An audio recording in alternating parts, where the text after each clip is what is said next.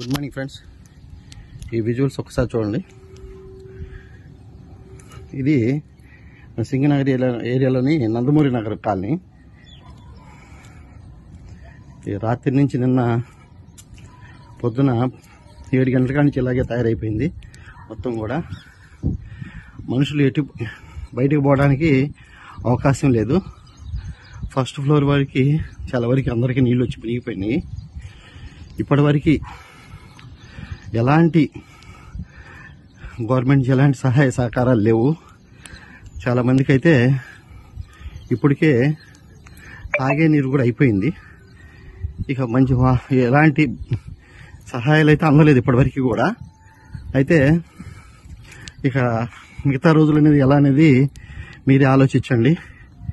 ఈ విషయాన్ని విజయవాడలో మనకి ఎవరైతే కొద్దిగా ఈ వరద తాకిడికి లేని వాళ్ళకి అందరికి కూడా ఈ వీడియోని ఫార్వర్డ్ చేయండి.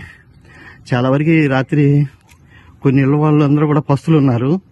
అలాగే కొన్ని ఇళ్ళ వాళ్ళందరూ కూడా కింద ఫ్లోర్ అంతా మునిగిపోయిన వాళ్ళు ఈ పై ఫ్లోర్లో వచ్చేసి వరండాల్లో పండుకోవటం అలా చేశారు పాపం.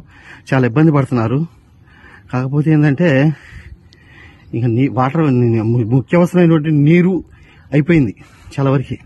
ఇంకా ఏమి లేవు. కాకపోతే ఆహార పదార్థాలు ఉన్నా మనం వండుకోవడానికి పాజిబిలిటీ లేదు. మనం వండుకోలేం కాబట్టి ఇక అది ఇబ్బంది. ఎన్ని ఉన్నా కూడా నీరు ఆహారం వండుకోకపోతే ఇబ్బంది. కాబట్టి ఇబ్బంది రాబోతుంది ఇక కొన్ని గంటల్లోనే.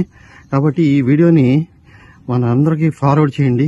బెజవాళ్ళు ఎన్ని గ్రూపులు అయితే ఉంటాయో అన్ని గ్రూపులు ఫార్వర్డ్ చేయండి ఫ్రెండ్స్ ఎందుకంటే నేను స్వచ్ఛందంగా ఇప్పుడు ఇది చూస్తున్నాను. నేను ఎక్స్పీరియన్స్ అవుతున్నాను అనుభవిస్తున్నాను. నేను నా డ్యూటీకి బయలుదేరాను. అక్కడి నుంచి ఏడు గంటల డ్యూటీకి బయలుదేరి బయటకు వచ్చాను. ఇక అక్కడ వరద ఉప్పినలాగా వచ్చేసింది. డ్యూటీకి కూడా వెళ్ళ వెళ్ళలేకపోయాను ఆఫీసర్లందరికీ ఫోన్ చేసి చెప్పాను. ఇది పొజిషన్ అని. కాబట్టి ఇక అక్కడి నుంచి ఇక ఆపుదల లేదు. ఇక ఆగటం అనేది లేదు. ఇలాగే ప్రవాహం కంటిన్యూ అయిపోయి ఇది చూడండి ఫ్రెండ్స్ మా గేటు. గేటు కూడా మునిగిపోయింది. పూర్తిగా గేటు కూడా గేట్లు కూడా మునిగిపోయింది బయటికి రావడానికి లేదు. అసలు ఎలాంటి అసలు ఇంకొకటి ముఖ్యంగా ఏంటంటే అసలు సప్లై లేదు. కరెంట్ లేదు. ఫోన్లు ఛార్జింగ్ లేవు. చాలా ఇబ్బంది పడుతున్నారు. ప్రజలు చాలా ఇబ్బంది పడుతున్నారు. కాబట్టి ఈ సింగనగర్ చుట్టుపక్కల వాళ్ళు నందమూరి నగర్ వాళ్ళు అన్నీ ఈ బుడమేరు కాలనీ ఏరియాలో అందరూ కూడా చాలా ఇబ్బంది పడుతున్నారు. కాకపోతే ఎవరో ఒకళ్ళు ముందుకొచ్చి ఇలా విషయాన్ని తెలియచేయాలి కాబట్టి నా వంతు ఇదిగా నేను ఈ విషయాన్ని మీ అందరికీ ధైర్యం చేసి తెలియజేస్తున్నాను.